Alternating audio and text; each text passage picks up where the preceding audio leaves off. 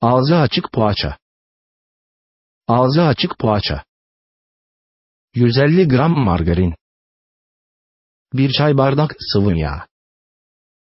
1 çay kaşık mahlip. 1 çay kaşık tuz. 1 paket kabartma tozu.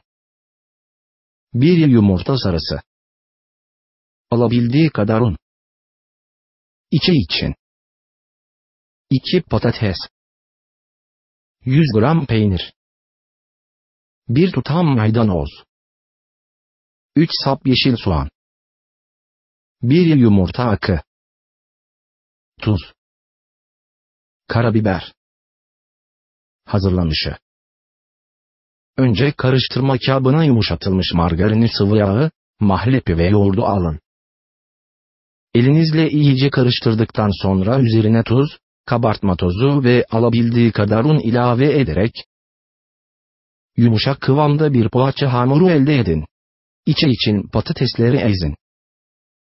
İçine yumurta akını, peyniri, doğranmış maydanoz ve soğanı, tuz ve karabiberi ekleyin. Hamurdan elinizle parçalar kopartıp açın. Ortasına içten koyup küçük bir pide şeklinde kapatın. Tüm hamurlara aynı işlemi uyguladıktan sonra kenarlarına bir yumurtanın sarısını sürün.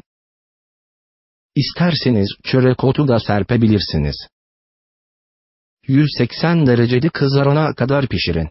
İlk sıcaklığa çıktıktan sonra ikram edin. Ağızda dağılan nefis bir hamur işi.